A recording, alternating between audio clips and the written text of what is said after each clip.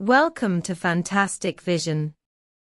Please subscribe us before you watch today's video. Since the implementation of the chip rules, the United States has relentlessly suppressed and sanctioned Chinese companies. So far, more than 1,200 companies and individuals have been added to the so-called entity list. The Biden team also pressured allies to jointly isolate the Chinese market, causing global the supply chain is under the crisis of collapsing. The tighter the suppression, the greater the pressure that Chinese companies exert on the United States at the technological level. The reason for the tension in the United States is simple.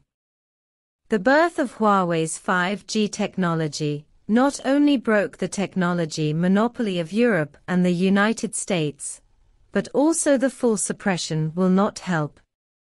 This is a good way to build confidence in other companies. With the escalation of the Sino-US trade war, Huawei's high-end chip supply has been greatly restricted, and this situation has also affected Huawei's non-5G business. However, Huawei did not give up.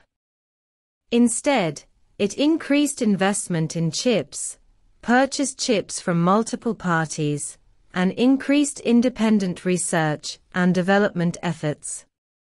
China has seen that Huawei's efforts in the past few years have finally achieved a dawn scene. The 14 nanometers process has made a breakthrough, and China will no longer be limited to the chip field. In fact, Huawei and other Chinese companies have made a lot of preparations in the early stage, actively expanded their own chip supply chain, adjusted the production process, completed the replacement of 13,000 components, and the number of localized circuit boards has also broken through. More than 4,000 blocks. In terms of lithography machines, they have already produced EDA lithography machines above 14 nanometers.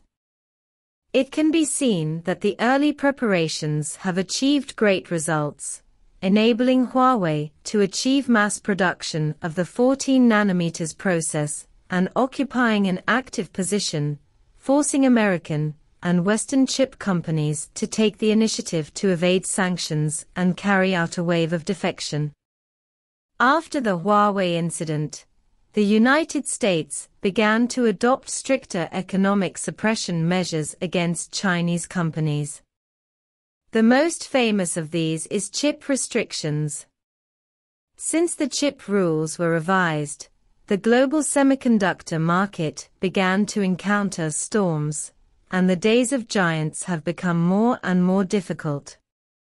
Samsung's profits have plummeted by 95%, TSMC's market value has been cut in half, and US companies such as Qualcomm, Intel, and Nvidia have also seen revenue and a decline in sales.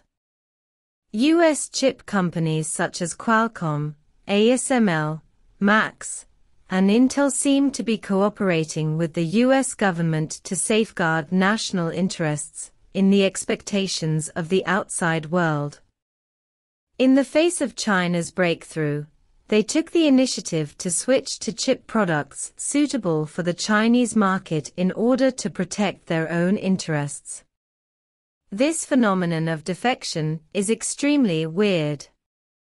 These companies have repeatedly stated that they will completely cut off the supply to Huawei, but this promise does not seem to be fulfilled, but has carried out the operation of defection. The biggest source of this is that these American chip companies need to rely on Huawei and other Chinese companies for the sales of chip products, and the breakthrough in the Chinese market means that Huawei and other Chinese companies will completely get rid of the dependence of US chip giants. This kind of defection is actually that in order to gain more benefits, these American chip companies have ignored the various restrictions of the US high level and can only use this method to evade sanctions.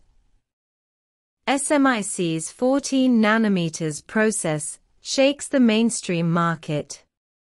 At present, the mainstream market of the chip industry is still the low-end market, and the breakthrough of China's 14 nanometers process can meet its needs, which has also brought some impact.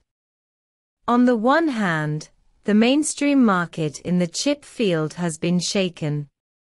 Mid to high-end chips have not been fully implemented, and most of the market is still in the mid to low end.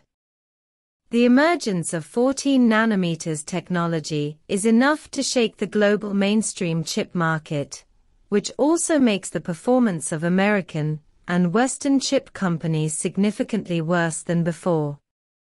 On the other hand, the chips that appear on the market are still interlocking. If they continue to produce and cannot find more buyers, there will be a phenomenon of slow sales. This is the problem that Qualcomm and other companies are now facing.